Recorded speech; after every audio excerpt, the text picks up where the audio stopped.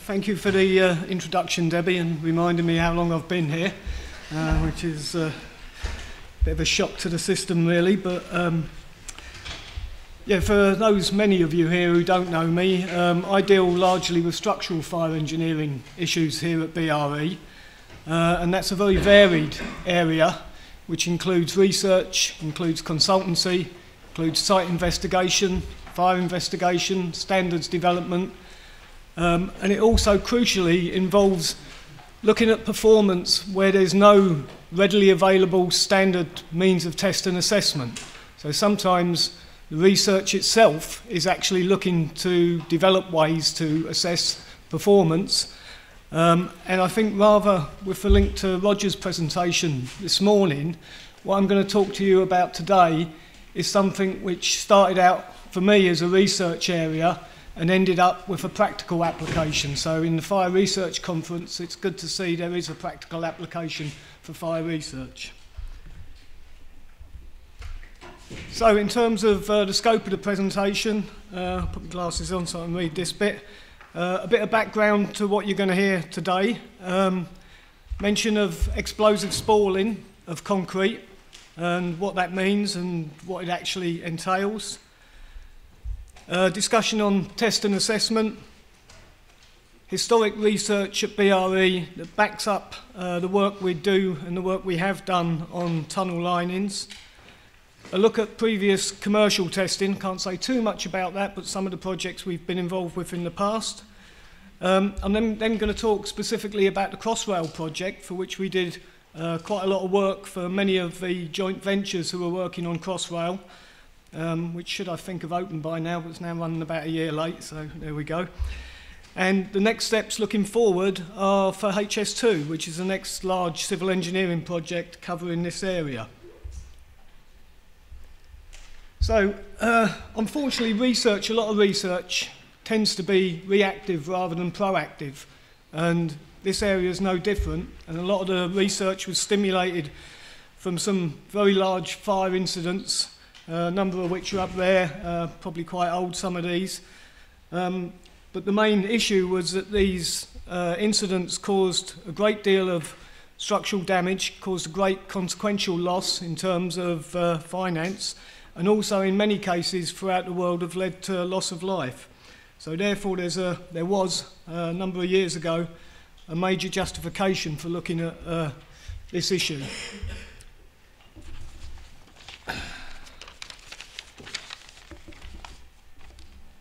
So the work discussed today is principally uh, looking at measures to mitigate the effects of explosive spalling of concrete structures.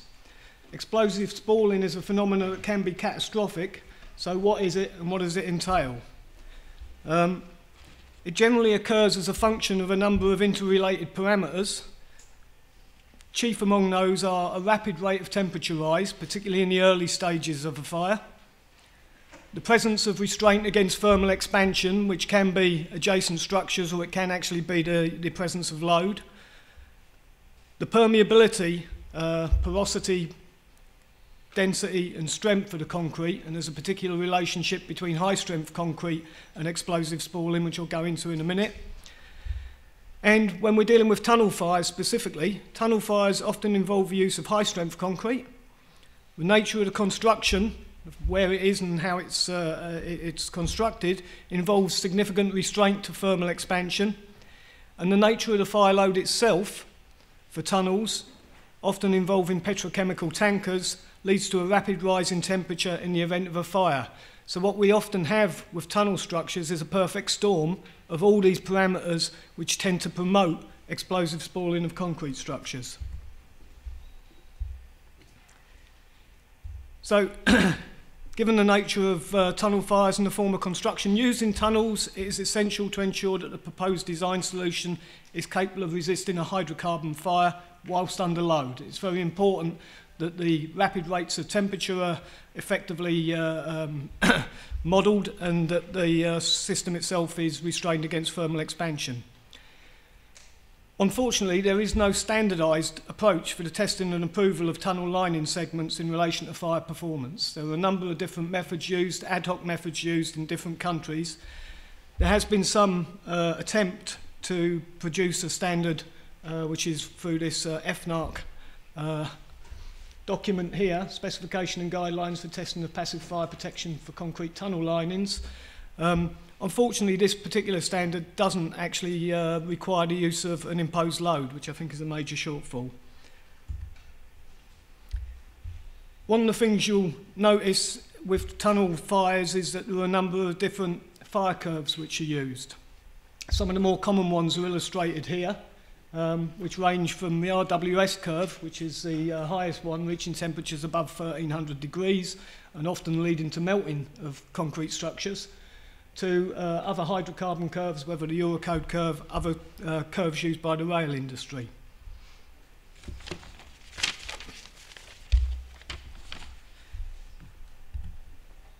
So, at BRE, this is uh, a bit of history which will take us back to Patrick's earlier uh, discussion previously, as nothing comes from nothing. Um, my first involvement in this was looking at high strength concrete columns in construction rather than tunnels initially, um, with a focus on the tendency of the elements to spall in an explosive manner. Now, this uh, work took place many years ago and was, to my knowledge, was the original work looking at the use of polypropylene fibres to mitigate the effects of explosive spalling. Uh, we used a number of different columns subject to a combination of uh, different levels of applied load uh, using a compression machine which is still here in the structures lab um, and a fire exposure provided by a portable gas-fired furnace which looks something like this. So you can see here we have a 500 ton compression machine and a small gas-fired portable furnace which enables you to develop very high temperatures within quite a confined space. The project was reasonably successful. Um, this is a comparison between two of the ones there. Uh, what you've got there is 100, which is 100 Newton concrete, which is high strength. Uh, on the left-hand side with silica, the same mix, but with uh, polypropylene fibres on the right-hand side. And this shows a relative performance between the extent of spalling. Um, it should be better, but this was the only one on the one on the left that actually survived the test. The rest of the columns we uh, swept up using a dustpan and brush and just put into the bin. So uh, uh, although the, the, the relative performance isn't so great there, it's much greater than the ones we uh, shoveled into the bin. So as a consequence of this work, we produced some design guidance which was used by the industry and promoted the use of polypropylene fibres for applications other than building structures and particularly for tunnels and also had an input to the work we were doing uh, on the concrete building at Cardington. So again, although not strictly related to tunnel linings, uh, what you can see here is the interior of the compartment we uh, set fire to at Cardington. And we had a particular concern about the intermediate columns, which were high strength concrete, but did include polypropylene fibres. So during the test, we produced, a, manufactured a support frame because we were concerned the columns might collapse and bring down the whole building. As it happened, the columns performed adequately, uh, but we didn't take enough account of the fact that you get other types of spalling, and you can maybe see in the picture on the right-hand side, we had aggregate spalling of the concrete slab, and you can see the uh, reinforcement exposed. So explosive spalling isn't the only mechanism that we've got to consider. So following this, we've uh, been involved in quite a lot of commercial work uh, where we've provided specialist fire test service for a number of high-profile projects, including uh, CTRL, Channel Tunnel Rail Link, uh, Heathrow T5 uh, Tunnel and the Hindhead Road Tunnel. Um, in all of these cases, we were developing the methodology in consultation with the client because we were looking at specific considerations for specific projects, so not following a standardized procedure. Um, but I think from the work we've done, we are now in a better position to develop such a procedure. Um, and the input from these projects also provided a major, uh, a major input into the specification for the testing of sprayed concrete linings for Crossrail, which I'll discuss briefly now. Um, just this is maybe a better indication of the uh, potential impact of polypropylene fibres in preventing spalling. Uh, these two samples were both identically cured, identically cast, identically loaded and identically uh, exposed to the same fire exposure and you can obviously see the difference here in terms of the spalling and the concrete. So uh, Crossrail, major, major project, uh, lots of different uh, contractors involved. There were two different specifications written for the testing for uh, concrete. One was for SCL, which is sprayed concrete linings, and the other was for the precast elements. Now, I wasn't quite sure for the same project why you required two different specifications, but uh, again, I'll say a little bit more about that at the end. Um, both the sprayed concrete linings and the precast segmental units require the use of the Eureka time curve, which we'll see in a, a second. Uh, which goes up to 1200 degrees in five minutes, so very rapid early uh, rise in temperature and the requirement for the sprayed concrete linings required an axial compression of 5 megapascals, 5 newtons per uh, millimetre squared. And there were both large and uh, small scale test samples involved. And the performance criteria was based on the depth of spalling, the temperature rise within the slab, and particularly the impact on the waterproof layer through the depth of the structural concrete, and the residual strength of the heated con con concrete. Uh, this shows the Eureka test time temperature curve, which was used for the Crossrail project and is also the same uh, exposure which is in the current specification for HS2 testing. I mentioned there were two different types of specimen. On the left-hand side is a cylindrical specimen which is tested not under load. And this is maybe if you've got some questions about your mix and you don't have a great confidence in performance, you can do effectively a small-scale test to look at the mix before you go on to the larger tests uh, using a larger panel section and uh, instrumented. The, uh, the thermocouple specification included um, in the test procedure um, required thermocouples to be installed at specific locations to look at the depth of spalling and the impact in terms of heat transfer through the structure. And this required the specimens to be instrumented on site. So we went to the various locations of uh, the contractors at various locations in London and we installed the thermocouples on site, which uh, it's quite an important um, part of the test procedure and the uh, performance criteria and has to be done correctly. It's also very important, particularly with concrete structures, that you're dealing with panels which are consistent, consistent in their manufacture, consistent in, their, in the casting, and particularly in the curing.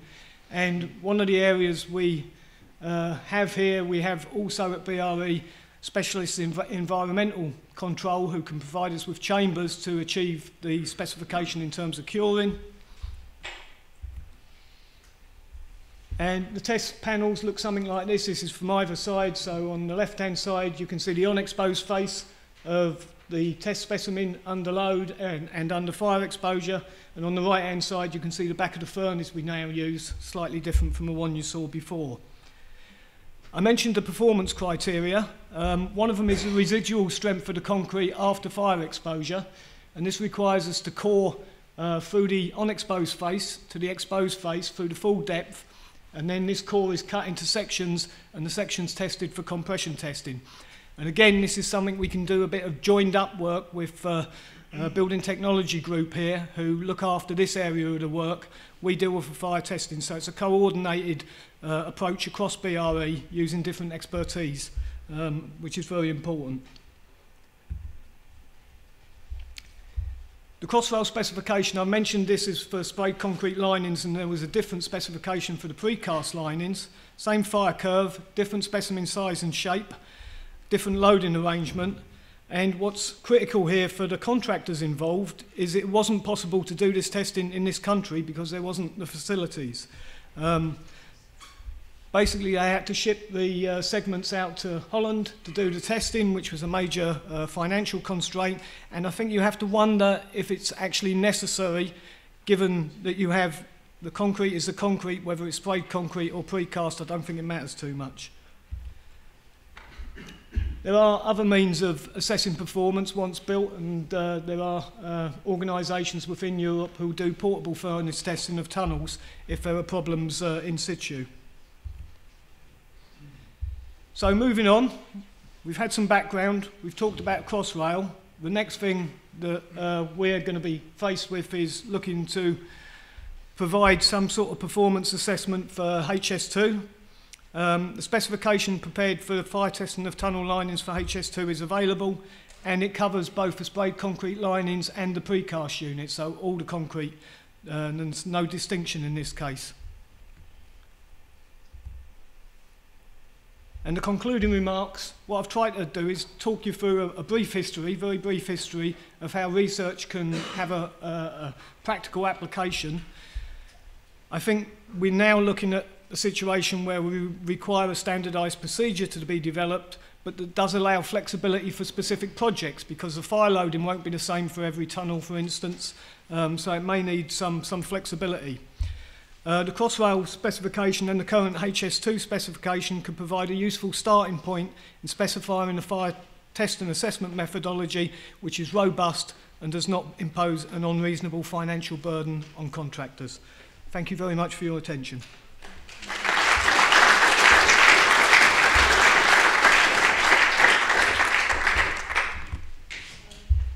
Thanks for that then, Tom. Thank we you. do have time for a question or two for Tom. Are there any? Sorry, I'll put the lights on, then I can see. Are there any questions for Tom at the moment? No? Ben. Oh, yeah, Ben. Thanks. Uh, ben from University of Edinburgh. At Edinburgh, we've got eight H-TRIS, I guess, which you know about, um, and one of the aims of H-TRIS, which is a, a variable radiant heat uh, panel, was to complement or replace these big scale standardized tests. Uh, where do you think that um, is going in terms of the future, and what are the barriers to adoption, and do you think it, it forms part of the overall solution, or do you think it could replace large-scale standardized testing in total? Okay, uh, it's a good A lot of questions there, sorry, but I mean just a general idea. Yeah, I mean, I'm not so familiar with the specific characteristics uh, of your facility.